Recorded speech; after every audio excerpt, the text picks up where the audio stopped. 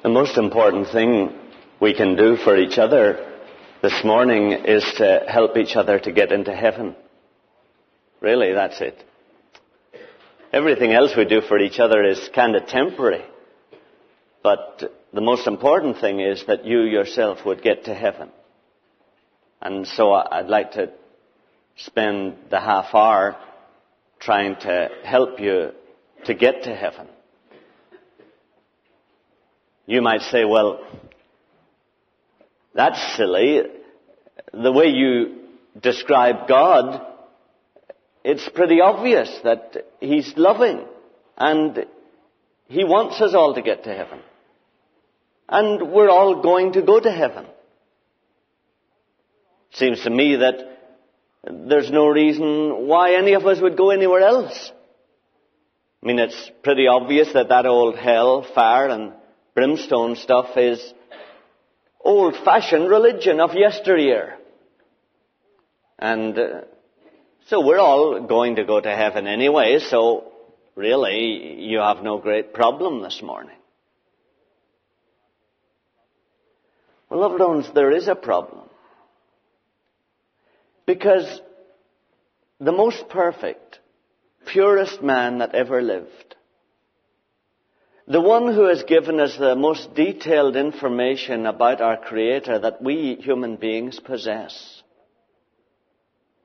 he said some things that just blow away that lovey-dovey universalist idea that we're all going to end up in heaven anyway whatever we do in this life. And it's very important for us to see that. The dear man who gave us the best information we have about the beyond, because he in fact went into the beyond and came back and told us, it's what I say. It's all that I told you about my father. He made it very plain that there is a place other than heaven. And it's important for us to see it, you know, just, just to be honest and intellectually consistent this morning. So, would you look at, the, at Matthew 5 and verse 22? Matthew 5 and verse 22. They're words, of course, of Jesus because he is the man that I, I mentioned. Matthew 5 and verse 22.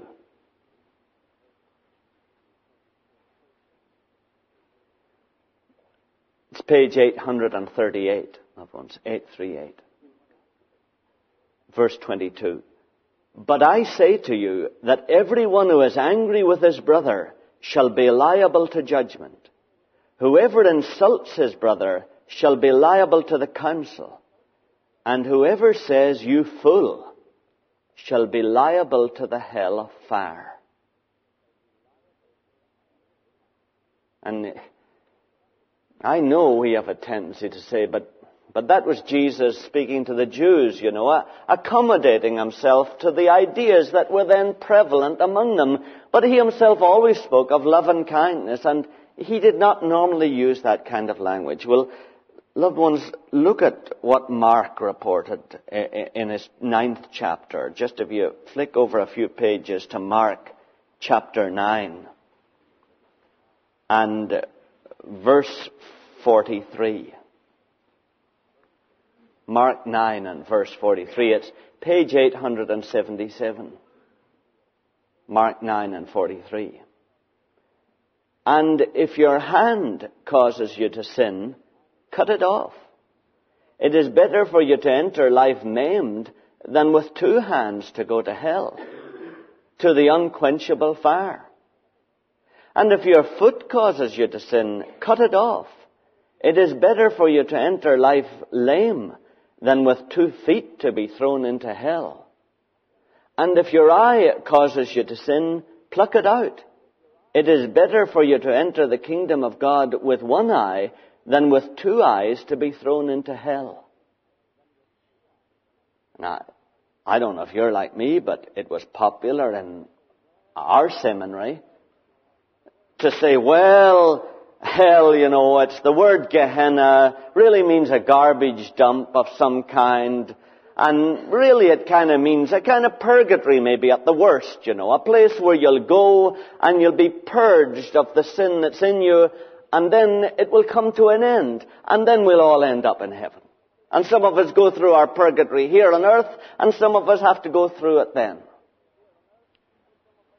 Well, brothers and sisters, it's just hard, you know. Greek scholar, Hebrew scholar, it doesn't matter what you are. You can't get round those words, you know, in verse 48. Mark 9 and 48.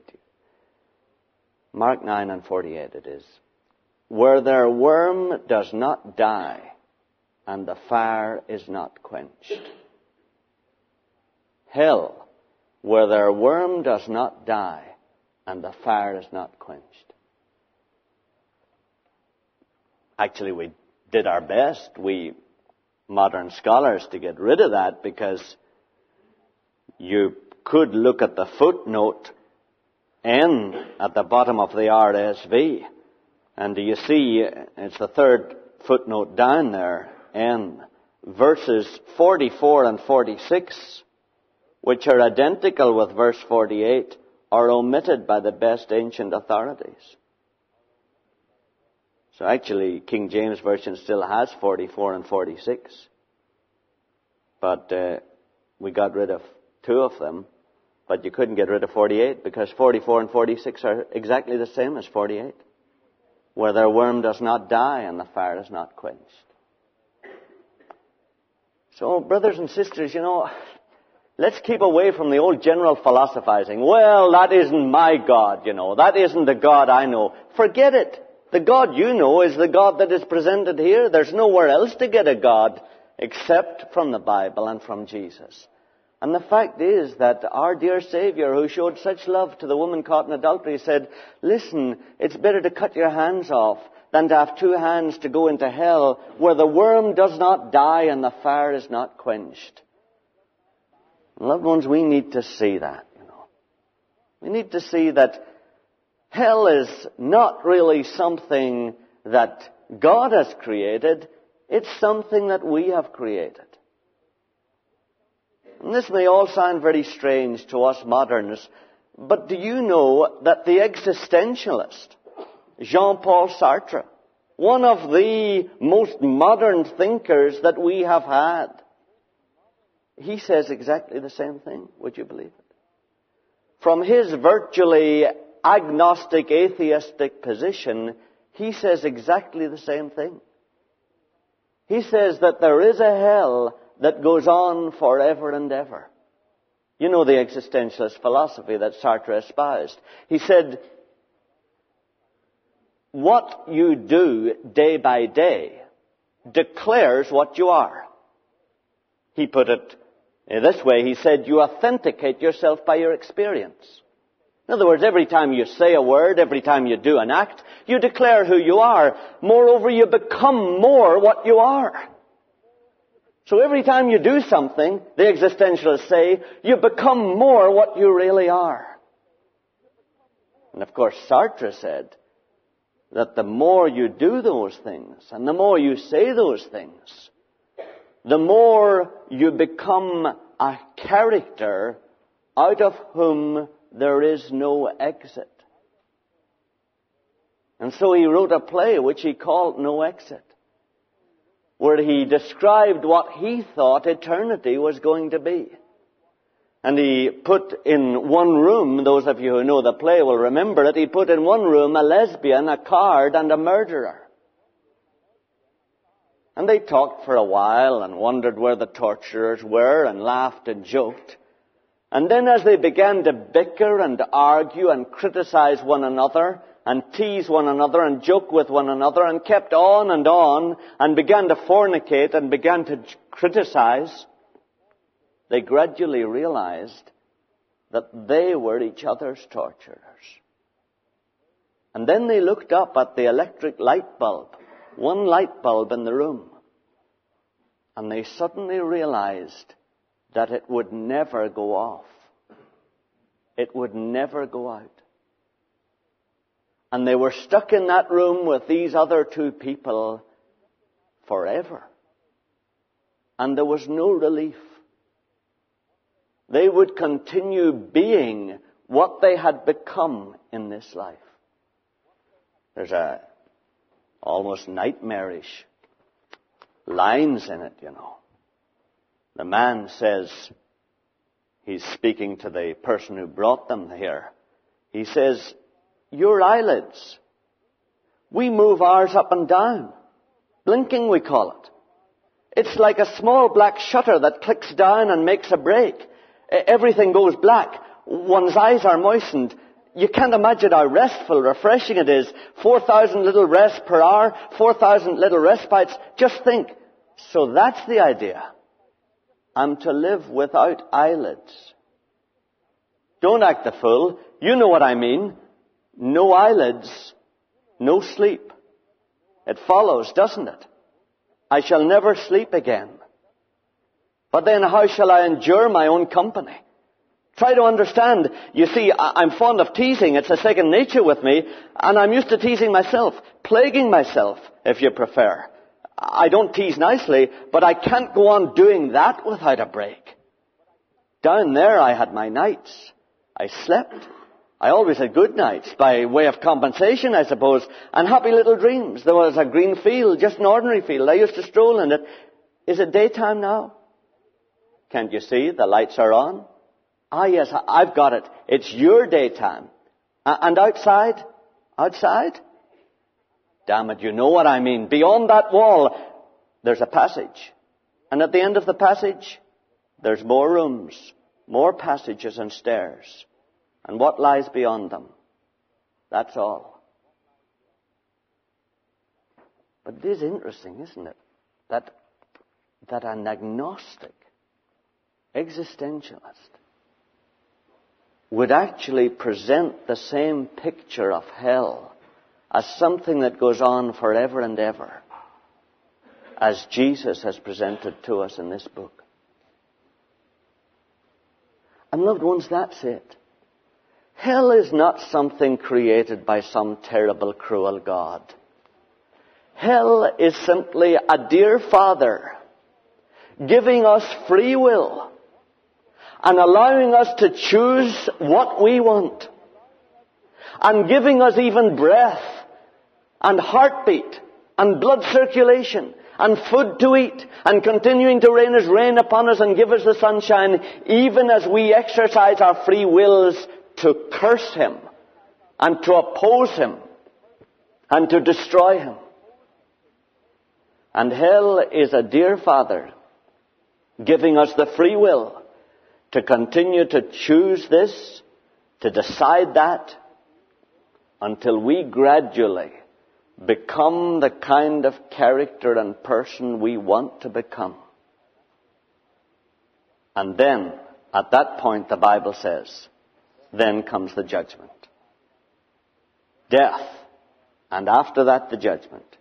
Then God does take it as His right to separate those of us who have lived for ourselves and not for Him throughout our lives from those of us who have chosen to live for Him and not for ourselves. Only at that point does God separate the one from the other. But we determine what we are day by day. And so it's happening with us, you know, here. It's happening with you. Every day, you're making decisions. Decision by decision, choice by choice, word by word, thought by thought, act by act. You're becoming a certain kind of person out of whom there is no exit and you will live with that person forever and ever and ever. And you may say, well, it's, it's unthinkable, it's nightmarish. But I mean, I know human nature well enough to realize that we're a self-deceiving crew and, and I may think I'm alright. And yet I may be doing the very thing you say. I may be becoming a monster. And I don't realize it. Because we are a self-deceiving group and how do I know? How can I know which way I am going? Well, loved ones, Jesus did give us the right story on that. He did tell us. He told us what way we were going. And he explained it to his disciples. And Paul, who was one of his disciples, or his apostles, you remember, wrote it in a letter to people at Rome. And he said this All of us, every one of us, all of us have sinned. Every one of us. So stop philosophizing, stop rationalizing, stop wondering whether you're going the right way or not. At this point, in such a relativistic business as judging where you are in regard to God, what you need is an objective judgment of some kind, and Jesus said that. Every one of us here in this room have sinned. No.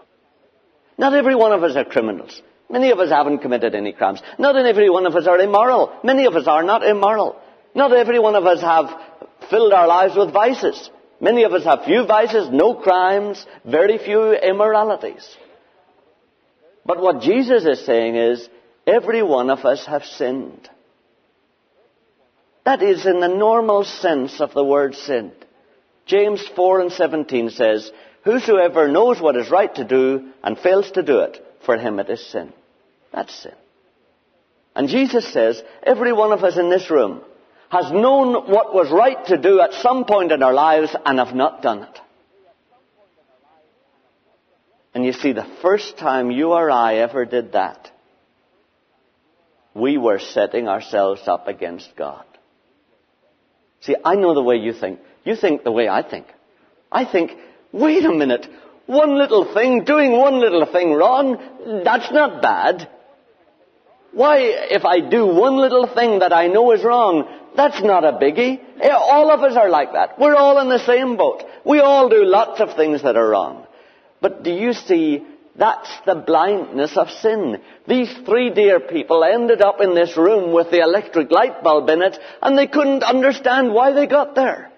They'd never done anything wrong, they thought. And that's the subtlety of sin. It is a blinding thing, loved ones. It makes us feel it's no big thing to do once what you know is wrong. It's no big thing, but that sin comes in and it blinds you and it prevents you from seeing that when you chose that one little thing that you knew God didn't want you to do, you actually elevated your will above His. You did, loved ones. You know? There's no way around that. I mean, you and I can play it down and make it a small thing, but you know that's what we did. We actually said, my will is more important to me at this time than the will of the maker of the whole universe. We elevated our judgment above his. We did. I mean, actually, isn't it true to say, we said, we are going to be God in this situation. We are going to decide this is right for us.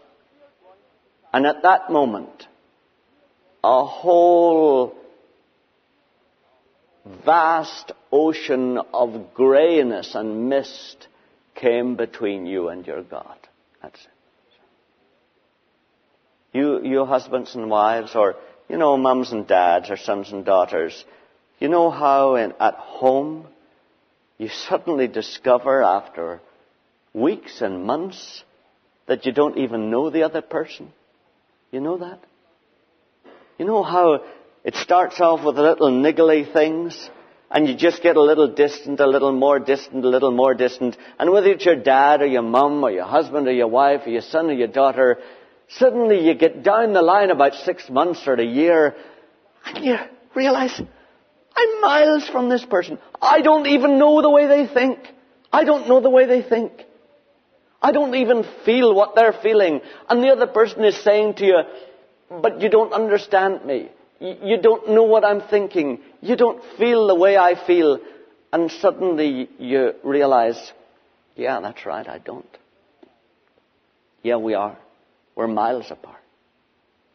I, I don't know what's happened, but we are. Now that's what it is, loved ones. That's the little sin, the little doing something wrong that begins the huge separation that begins to open between you and God. That's why Jesus said through Paul, the wages of sin is death, you see. Not kind of something, you do something and the great God clunks you and kills you. Not that.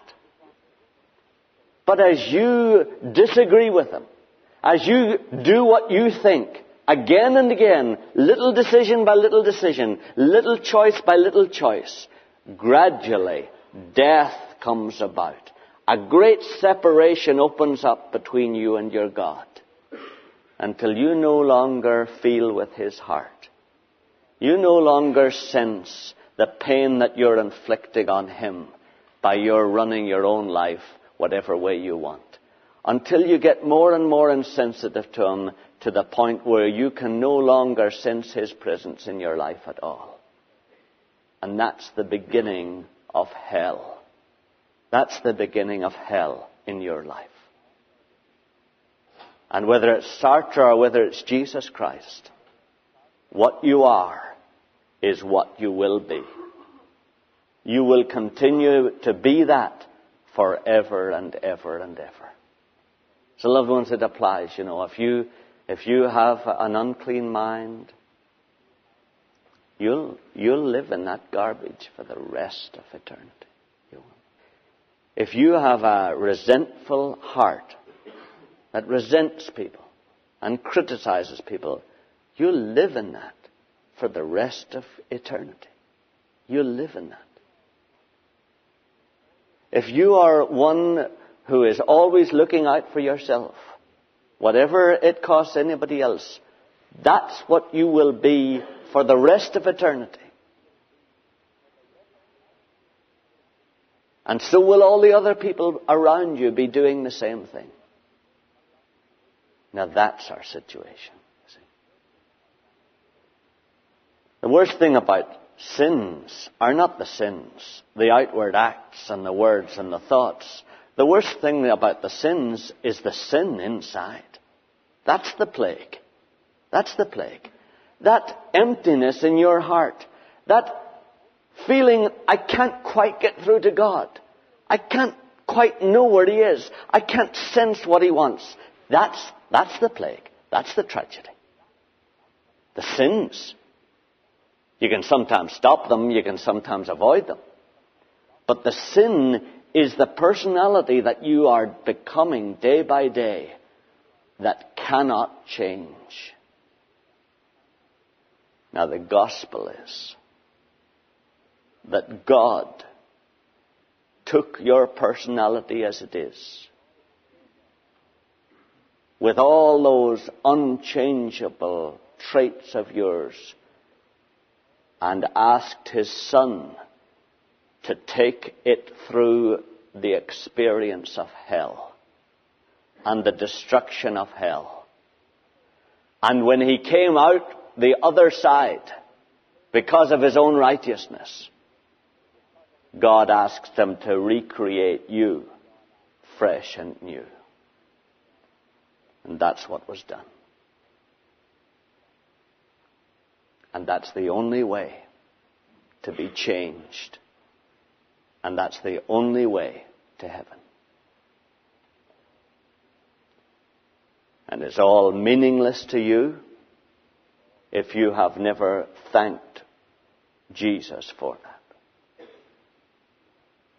He is your personal Savior. In that you contributed something to the pain and agony of hell in His heart that none of the rest of us did. Some of that agony that He bore was for you, wasn't for me, wasn't for any of the rest of us in this room. There's something of his death that you contributed pain to that none of the rest of us did. There's a piece of your sin that he bore that he didn't bear for any of the rest of us. He is your personal Savior, but it's meaningless. And you'll be untouched by it. And you'll go to hell unless you thank him personally for what he has done for you. That's it. Unless you go to him this morning and say, Jesus, I have things in my life that will take me into hell in this life and hell hereafter. Lord, thank you that you bore these things for me. I confess them. I want rid of them, Lord. And you confess those sins, whatever they are. And then you turn to him and, well, I needn't tell you. What do you tell? You, you don't need instruction. You either believe this. If you believe it, you know what to do. You know there's only one thing you can say to him. Jesus, that's what I'd have had to go through, except I wouldn't have come out the other side. I'd be living forever in a hell burning against myself in selfishness and resentment. Lord Jesus, thank you. I turn from this mess. I turn from it this day, and I turn to you. And Jesus, I ask you to come in and now live your life again inside me. That's how you make him your personal Savior. Because the moment you acknowledge that he has done what he has done, then there's a bridge built between you. And he begins to be able to get through to you. And you begin to receive words from beyond and messages from your God. And you begin slowly to build again a sensitive relationship between you and your dear Creator that was His intention for you from the beginning. So I just ask you, is Jesus your personal Savior? Is Jesus your personal Savior? Have you acknowledged Him personally? He already knows you intimately because He has borne every one of your sins in His own heart and bore the pain for them. Have you acknowledged Him? Have you made a friendship with Jesus? That's what it means, loved ones, to be a Christian. It's a personal relationship with Jesus who has borne the unbearable for you. Let us pray. Dear Jesus, we would thank you for going to hell for us. And Jesus, we see that it yawns beyond us here if we don't thank you and confess to you the things that we know you died for in our lives. Savior, we'd confess them to you personally and we'd repent of them personally to you. Jesus, we're sorry that we caused your death. We're sorry that the dirt and the monstrosity that we have created within ourselves brought about your agony and pain. Jesus, we apologize and we repent.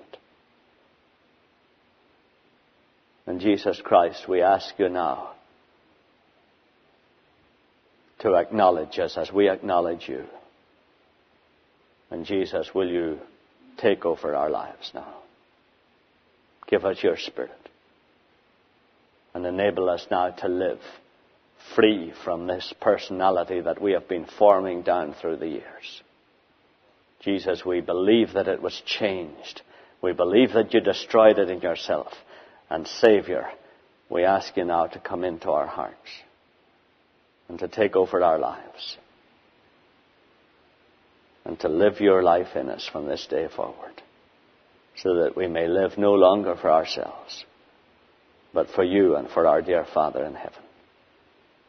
And oh Lord God, we ask you to save us from the hell that we have created and that we have made necessary by all our self deification.